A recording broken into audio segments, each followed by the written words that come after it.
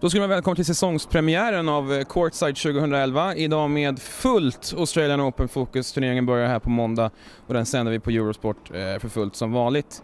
Eh, välbekant panel idag med Jonas Björkman och Maria Strandlund Tomsvik. Ni ska vara väldigt välkomna båda två. Tackar. Tack. Eh, vi sparkar igång med lite svensk fokus för Robin Söderling eh, har ultimata förutsättningar att göra en bra Australian Open-turnering. Eh, han vann i Brisbane i förra veckan efter en riktigt bra turnering där han inte tappade ett enda set. Eh, börjar med dig Jonas, såg du någonting av Robin och i så fall vad tyckte du om det du såg? Ja, hade då tyvärr eh, fel kanal, eh, hade inte den Eurosport 2 så jag kunde inte följa det riktigt. Eh, men eh, jag har sett lite highlights eh, via datorn och eh, såg riktigt bra ut. Eh, servade väldigt bra och Eh, uh, när han servar bra så är han alltid svår att, att, att möta men uh, framförallt att han uh, på ett uh, övertygande sätt, som du säger, utan setförlust hela veckan och levererar och går och vinner första veckan. Han har inte spelat så bra januari månad innan så att jag, ska bli väldigt intressant att se vad han kan göra. Jag tror det kan bli riktigt bra i Australien i år. Mm. Men är rent, rent mentalt, han har många, eller många, han har, ja han har faktiskt många Australian Open-turneringar som inte har varit bra överhuvudtaget. Mm. Hur tror du han känner sig mentalt efter den här turneringssegern? Nej, men jag tror att det betyder jättemycket för han som Jonas sa har ju inte kunnat förbereda sig bra eller han har inte lyckats förbereda sig bra matchmässigt mm. inför australiska och det har ju aldrig gått bra i australiska heller för honom direkt. Så. Jag tror det betyder jättemycket att han går och vinner den där och just att han går och vinner en turnering där han är första sidad också, går hela vägen, håller för trycket tror jag är jätteviktigt. Och så är det ju en drömstart på det nya samarbetet som jag tror direkt gör att de får förtroende för varandra. Mm. Eh, och jag har hört att Pistolesi pratar mycket om att eh, han ska jobba och bli lite mer offensiv, kliva in lite mer i mm. banan mm. och det tror jag är helt rätt fas nu för Robin att göra det. Så jag tycker det ser jättebra ut för honom inför australiska. Mm. Samarbete med Pistolesi, vad, vad tror vi om det? Ja, eh, vad tror man? Nej men eh, Eh, har ju varit med eh, både som spelare, eh, så han har ju väldigt mycket erfarenhet eh, från, från sin egen tennis och sen eh, har han ju varit med rätt länge som coach också. Eh, Eh, Berre då det sista som han körde med, han körde med Suzuki ett tag också som var väl inne på damtouren lite också så att eh, han har väl fått rätt mycket erfarenhet på, eh, på tränarrollen också. Mm. Eh, och eh, starta med vinst är ju aldrig fel i, eh, i en eh, ny, nytt förhållande höll jag på att säga men det, det, är ju nästan som ett förhållande en, en tränare och spelare så att de, de har fått en smakstart på, på sitt samarbete. Mm. Vad tror du om, om deras samarbete Maria? Ja, men jag säger precis som eh, Jonas där, han, han är inte någon som har gjort jättemycket väsen av sig. Utan, eh, och jag kan honom inte så innan och utan som tränare, hur han jobbar och så. Men jag har hört mycket gott om honom och att han brinner för det han gör. Men det sägs att han är en riktig tennisidiot. Ja, riktigt dedikerad är ja. han till tennisen. Så, och, och, det måste ju finnas något där om Robin väljer att jobba med honom. Men jag kan inte säga att jag kan honom utan och innan så. Men det, de har ju fått en väldigt bra start. Mm. Det sägs nu att, eh, eller det är sagt, två månader till att börja med. Hur stora tror ni chanserna är att de fortsätter tillsammans efter, eh, efter, dem, efter den tiden? Nu med turneringsseger. Vad tror ni? Det är, jag tror väl eh, det kändes ganska tryggt att de skulle fortsätta en längre tid men man vill väl kanske ha någon typ av eh, avtal eller en, en, en, en bestämd tid till en början med och nu har de fått en bra start så jag tror inte det känns som att eh, Eh, de vill ändra på det utan eh, jag tror som sagt eh, Robin är så pass bra nu och kommit upp på en sån stabil nivå att han kommer bli livsfarlig i Australien och jag tror också just den här starten med samarbetet med Pistolesi gör att de kommer fortsätta året ut. Mm.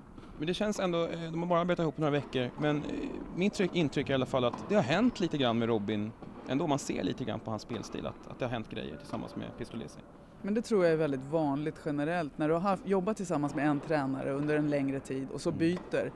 Den tränaren kanske jobbar på nästan exakt samma saker men det är en ny röst, det är andra formuleringar och det brukar oftast hända någonting där om kemin är okej. Okay. Mm. Eh, och förtroendet finns där, då brukar det tända till. Liksom. Det är lite så här nyhetens behag ett tag. Så två månader tycker jag är lite kort prövotid. De behöver egentligen kanske ett halvår för att känna på både med och motgång tillsammans och, och testa om kemin stämmer i alla lägen. Sen är det ju så också att precis som du säger där, jag tror de här bitarna som kanske då, jag vet inte, jag tyckte inte det var någon större förändring men om det är någon förändring så, så kan det vara så att man är mer mottaglig till att lyssna på egentligen samma saker. Jag mm. tror, om jag säger, Magnus har gjort ett fenomenalt jobb med, med, med Robin och eh, om det var att, jag tror att han låg på just de här bitarna om det var någon förändring då, att det är bara att kanske inte var lika mottaglig till att, att, att göra det. Eh, utan nu får man en ny röst som säger det och då är man mer mottaglig och accepterar att man måste göra det. Eh, så att ibland kan det bara vara en sån grej som gör att eh, det, det ser ut som en förändring kanske och att man, man tänker lite annorlunda. Så att eh, det blir lite så ibland. Mm. Det är ett ganska tacksamt läge för en ny tränare att komma in också. Han har inga poäng att försvara i nästan två månader här nu och han kommer med en bra säsongsavslutning i ryggen. Ja, och han får jobba med en av de bäst tränade spelarna på touren nu som fortfarande är på väg upp. Alltså Magnus har ju lagt en jättegrund hos Robin så han kommer ju till en silverbricka känns det som, Pistolesi. Så han ska vara riktigt klantig för att klanta till det här. Det, det kan nästan bara gå bra, ja. tror jag. Eh, om vi kikar lite grann på Robins Australian Open då, som vi har sagt så har han inte särskilt många lyckade Australian Open-turneringar bakom sig.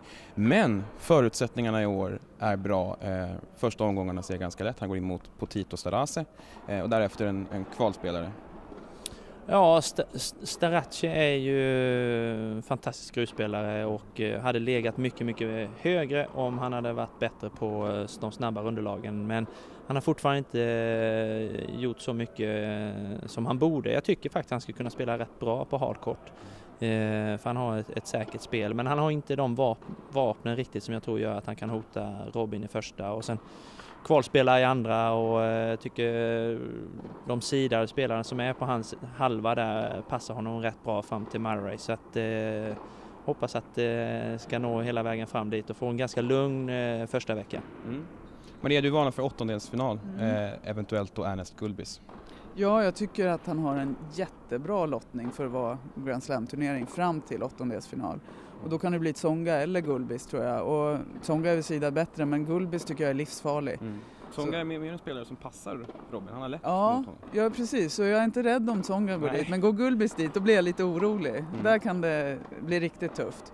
Och sen, men så ska det ju vara en Grand Slam från åttondelsfinal och framåt. Då måste ju han maxa sin eh, nivå, Robin, för att gå vidare. Och så ska det ju vara. Mm. Men där tycker jag första stora testet kommer. Jag har svårt att säga att han försvinner under första veckan. Mm. Han är semifinalsidad första gången i en eh, Grand Slam. Hur viktigt är det? Ja, det är jätteviktigt för att han eh, har på något konstigt vis alltid, han har ju ändå haft en möjlighet att kunna hamna i, i mitten av startfältet men har, har på något vis har han ändå gått mot eh, en Nadal eller Federer väldigt ofta eh, i en kvartsfinal. Och eh, nu får han ju lite tryggare känsla att han, är, att han går mot en Djokovic eller Murray istället så att eh, det, det tror jag känns väldigt bra.